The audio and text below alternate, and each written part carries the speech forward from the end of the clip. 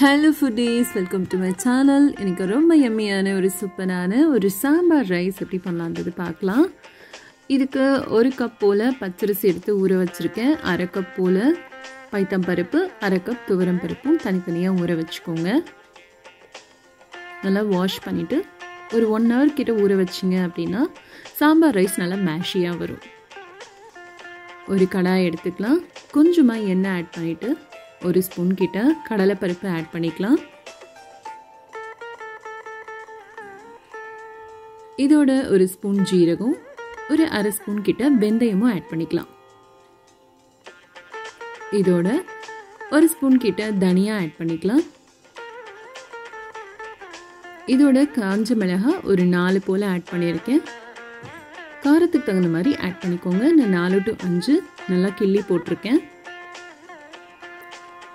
இது நம்ம நல்லா ரோஸ்ட் பண்ணி எடுத்துக்கலாம். ரோஸ்ட் ரோஸ்ட் பண்ணதுக்கப்புறமா ஆற வச்சுட்டு மிக்சியில் நல்லா பொடிச்சு எடுத்துக்கலாம்.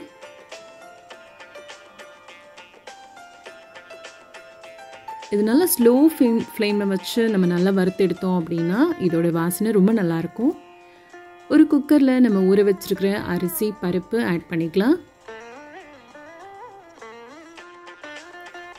இப்போது இதோட ஒரு நாலு கிளாஸ் கிட்ட தண்ணி ஆட் பண்ணிக்கலாம். நம்ம எதில் மெஷர் பண்ணியிருக்கோமோ அரிசியை அதுலேயே மெஷர் பண்ணி தண்ணியும் ஆட் பண்ணிக்கோங்க.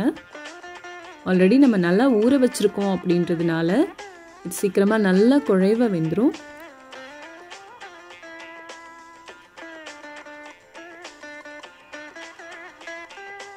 இதோட கொஞ்சம் போல் மஞ்சத்தூளும் ஆட் பண்ணிக்கலாம். ஒரு கால் ஸ்பூன் கிட்ட ஆட் பண்ணிக்கலாம். இதோட வாசனைக்கு ஒரு ரெண்டு பல் பூண்டு ஆட் பண்ணியிருக்கேன் அவ்வளோதான் ஒரு நாலு விசில் கிட்ட விட்டு எடுத்துடலாம். உடனே திறக்காதீங்க. நல்லா ஸ்டீம்லாம் ரிலீஸ் ஆனதுக்கு அப்புறமா நம்ம ரெஸ்ட் பண்ணி திறந்தோம் அப்படின்னா நல்லா குழைவாக வெந்திருக்கும். இப்போ ஒரு கடாயில் ஒரு ரெண்டு டேபிள் ஸ்பூன் கிட்ட எண்ணெய் ஆட் பண்ணிக்கோங்க. கொஞ்சம் போல் கடுகும் பெருங்காயமும் ஆட் பண்ணிக்கோங்க. இதில் ஒரு பத்து டு பதினஞ்சு பல் சின்ன வெங்காயம் ஆட் பண்ணுறேன் சாம்பார் ரைஸ்க்கு சின்ன வெங்காயம் ஆட் பண்ணும்போது அதோட அரோமா ரொம்ப நல்லாயிருக்கும்.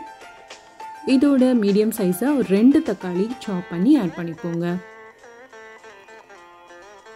இதோட கொஞ்சமாக உப்பு ஆட் பண்ணிக்கலாம்.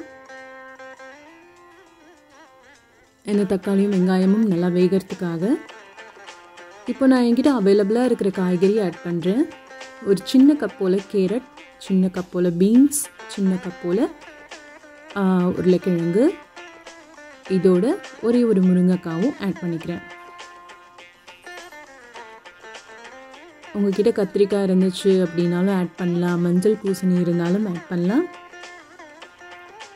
இந்த காய் வேகிறதுக்காக கொஞ்சமாக தண்ணி ஆட் பண்ணிக்கலாம்.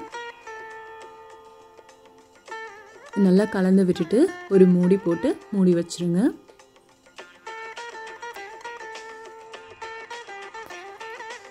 ஒரு ஃபைவ் மினிட்ஸ்க்கு அப்புறமா பார்த்தீங்கன்னா காய் இந்த அளவுக்கு வெந்திருக்கு.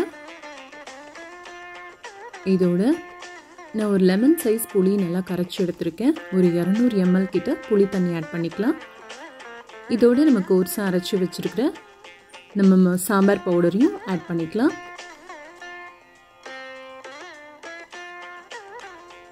இது நல்லா கொதிச்சு வரணும்.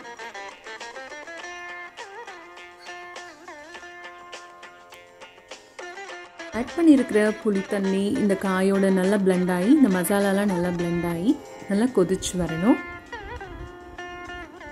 இப்போது நம்ம ப்ரெஷர் குக்கரில் ஸ்டீம் ரிலீஸ் ஆகிடுச்சு ஓப்பன் பண்ணி பார்க்கலாம்.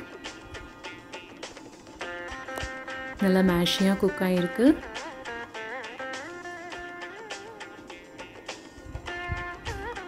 நம்ம வெறும் தோரம் பருப்பை மட்டும் ஆட் பண்ணோம் அப்படின்னு பார்த்தீங்கன்னா டைம் போக போக ரொம்ப கல் மாதிரி ஆகிடும் ஸோ அரை கப் தோரம் பருப்பு அரை கப் பைத்தம் பருப்பு ஆட் பண்ணி நம்ம சாம்பார் ரைஸ் எப்போ பண்ணாலும் ஒரு லாங் லாஸ்ட்டாக வந்து நம்ம அந்த சாதம் வந்து ரொம்ப காஞ்சி போகாமல் இருக்கும்.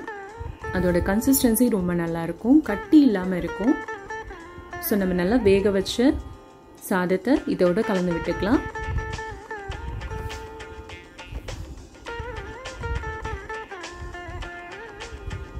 அவ்வளோதான் ஒரு குயிக்கான ஒரு சாம்பார் ரைஸ் ரெடி ஆயிடுச்சு. ரொம்ப யம்மியாகவும் இருக்கும். நீங்களும் ட்ரை பண்ணி பாருங்கள் enjoy the recipe thanks for வாட்சிங்